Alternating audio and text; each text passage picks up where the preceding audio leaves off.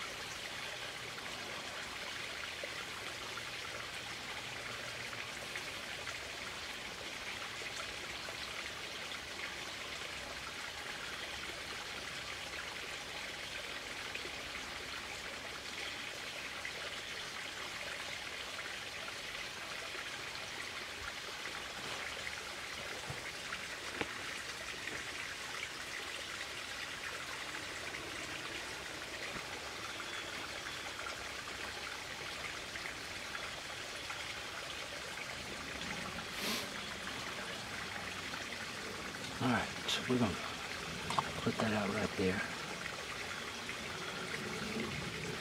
And uh,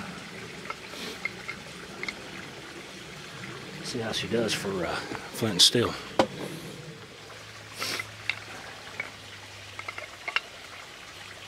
All right, my battery's running dead on the camera. Let's see. Oh, still got one going, man.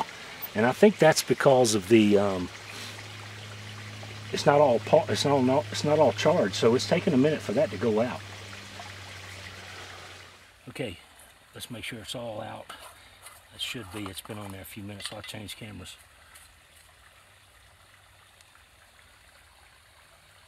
Yeah, nothing. Now you can see. Uh oh. You can see there's um, different levels of char in there. Got ash, some actual char. Got some that's not charred. See how she takes a spark.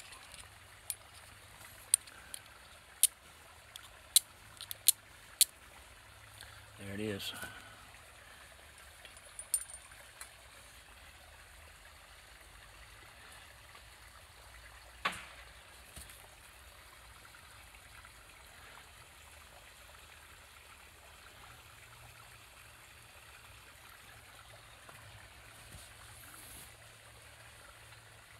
So, there's something to do with the ash content in there.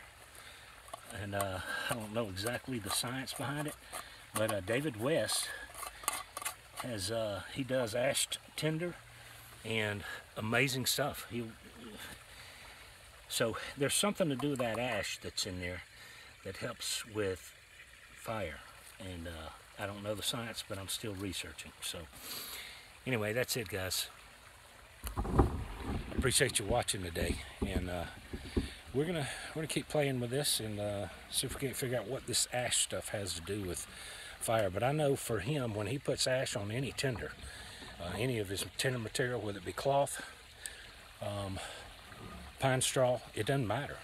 Um, that stuff that stuff is amazing. It'll you can blow it to flame. Well, you can't blow char, just plain char to flame um, by itself. By itself, you can in a tinder bone.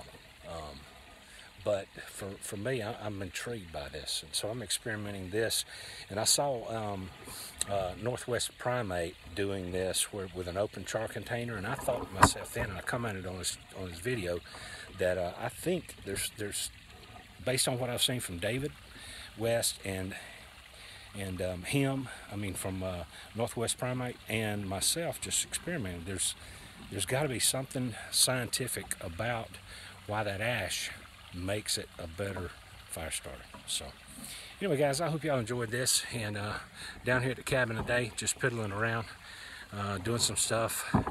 And uh, I will uh, get back with you next time. You guys keep doing stuff self-reliance.